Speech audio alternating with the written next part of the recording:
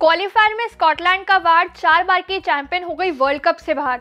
पहली बार हिस्ट्री में हमें वर्ल्ड कप के लिए वेस्ट इंडीज़ क्वालिफाई करती हुई नज़र नहीं आएगी, क्योंकि इस बार वेस्ट इंडीज़ वर्ल्ड कप के लिए क्वालिफाई नहीं कर पाई है क्वालिफाई राउंड्स में ही बाहर हो गई है। पहली बार वर्ल्ड कप हम बिना वेस्ट इंडीज़ के देखने वाले हैं, जो कि वेस्ट इंडीज़ के लिए काफ़ी ही ज़्यादा शर्मनाक बात है।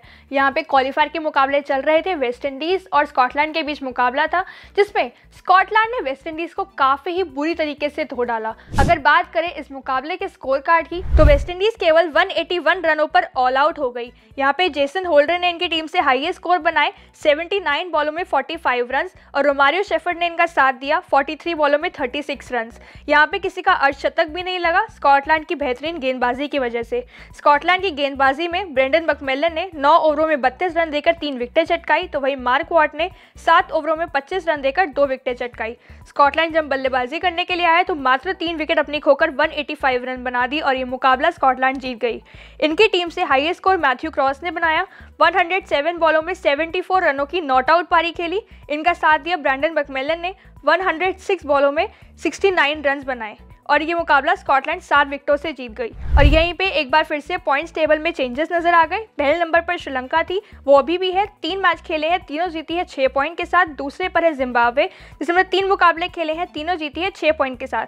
तीसरे पर आ गई है अब स्कॉटलैंड जिसमें तीन मुकाबले खेले हैं, दो जीती है, एक हारी है, चार पॉइंट के साथ। चौथे पर है नीदरलैंड जिसने अपने तीन मुकाबले खेल लिए हैं। एक जीती है, दो हारी है, दो पॉइंट के साथ पांचवे पर है वेस्ट इंडीज जिसने अपने तीन मुकाबले खेले हैं, तीनों ही हारी है और ज़ीरो पॉइंट के साथ तो छठे पर है ओमान जिसने अपने तीन मुकाबले खेले हैं और तीनों ही हारी है ज़ीरो पॉइंट के साथ। वेस्ट इंडीज पहले भी ऑलमोस्ट बाहर हो ही गई थी, लेकिन फैंस को जो ज़रा ज़रा से अभी भी उम्मीदें थी कि शायद से कोई चमत्कार हो जाए और वेस्ट इंडीज़ आ जाए, वो चमत्कार नहीं हुआ और West Indies qualify World Cup के लिए नहीं करी। अब वेस्ट इंडीज़ हमें वर्ल्ड कप के लिए तो नहीं दिखेगी, लेकिन जो जिम्बाब्वे और श्रीलंका हमें कंफर्म लग रही थी, उनको टक्कर देने के लिए अब स्कॉटलैंड ऊपर आ गई है।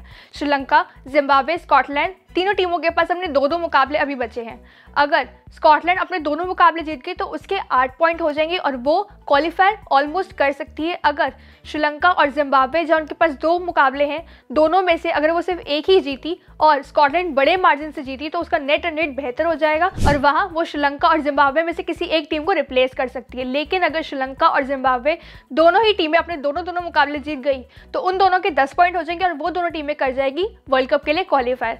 अब आप लोग मुझे बताइए कि इस बार वर्ल्ड कप में चार बार की चैंपियन हमें नहीं दिखने वाली है।